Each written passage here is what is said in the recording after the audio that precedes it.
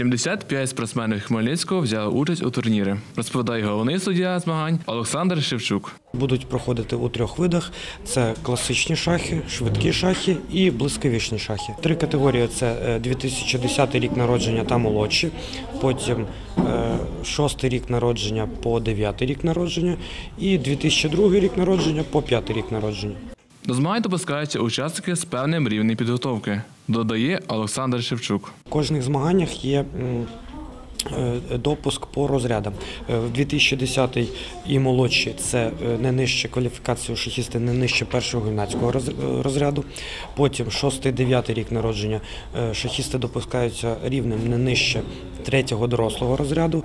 І 2002-2005 найдоросліші учасники допускаються кваліфікацію не нижче другого дорослого розряду. Підтримати свого сина на турнірі прийшов Степан Марценюк. Чоловік каже, шахи допомагають розвиватися. Уважність. От е, що йому не вистачає, це уважність.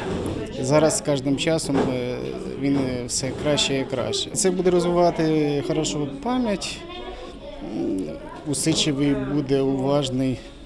Ну, думаю, що буде розумний. Олександр Марценюк шахами займається майже рік. Хлопець каже, на цьому турнірі налаштований на перемогу.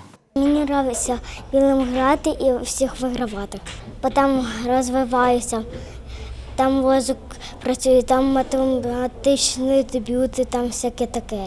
Турнір триватиме протягом тижня. Завершиться 1 червня на Всесвітній день захисту дітей. Тоді ж відбудеться нагородження переможців. Андрій Гуменний, Іван Мовчан. Новини Поділля Центр.